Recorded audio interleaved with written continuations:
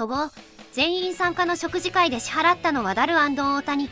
日本ラウンドではチームの結束を高めるため食事会が開催されたがその時の裏話を披露。日本ラウンドでメンバー全員で食事したことがあった。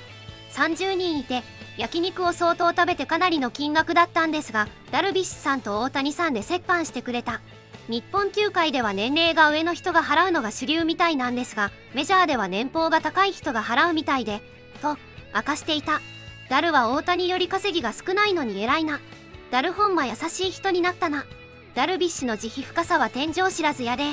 どっちにしろダルは支払い確定でくさ。1人10万で300万やろ大したことないな。飯だけなら大したことないやろ。酒飲んだらわからんけど。だからベテランの雑魚とは絡まないようになる。ダルにしてみたらハートチップル買うレベルやろ。ダルビッシュさんの男気は東洋の神秘やで。大谷やダルビッシュにとって30万は俺たちの100円くらいだろ。というか大谷来てたんやな。